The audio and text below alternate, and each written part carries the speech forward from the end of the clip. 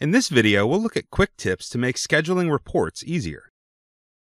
To automatically run reports and email select users, schedule them to run daily, weekly, or monthly. To schedule a report, go to its Run page. From the Run Report dropdown, click Schedule Future Runs. You need the Schedule Reports permission to do this.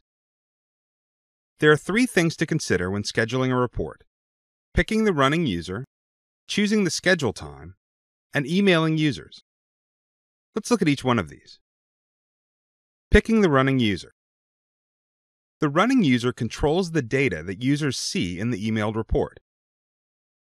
For example, here, Alan Wong is the running user. People viewing this emailed report, regardless of their access level, see the exact same data as Alan.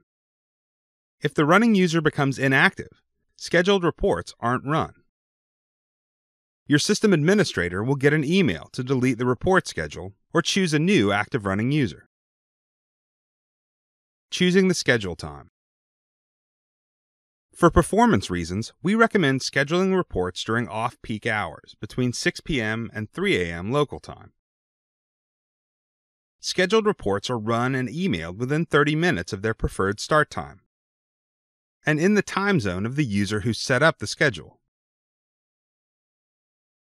Emailing users.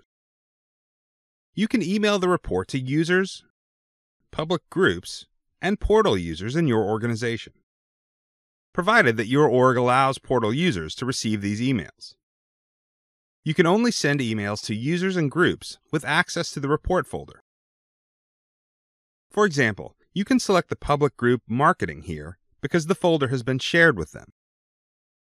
Using these tips, your scheduled reports would run with an active running user, be sent during off peak hours without impacting performance, and be emailed to the right users.